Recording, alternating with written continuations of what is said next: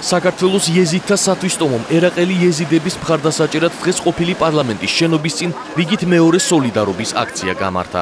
აქციის მონაწილეების მიზანი საზოგადოებისთვის იმ საფრთხის შეხსენება იყო, რომელიც ერაყის ისლამური რესპუბლიკის სახით მსოფლიოს ემუქრება. მიმდინარეობს ეზიდების გენოციდი, რაც უკვე აღიარა საერთაშორისო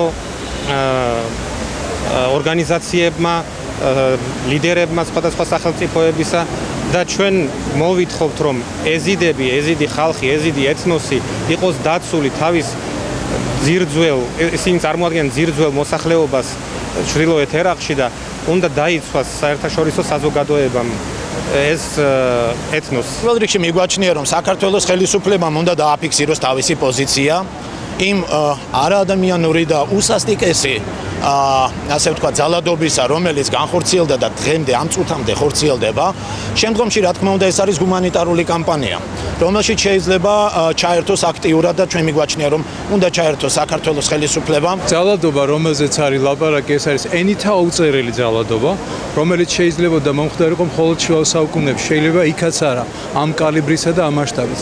რაც შეეხება დღევანდელ ღონისძიებას, მისი მთავარი დანიშნულება არის ჩვენ ადამიანური სოლიდარობა გამოვხატოთ იეზიდი ხალხის მიმართ, რომელიც განიცდის კულტურულ, რელიგიურ, ეთნიკურ ძალადობას, დევნას, შევიწროებას და ალბათ სისქუშეში არ არ მეგულება ისეთი ტომი ხალხისა, რომელიც მსგავს დევნასა და შევიწროებას განიცდიდა.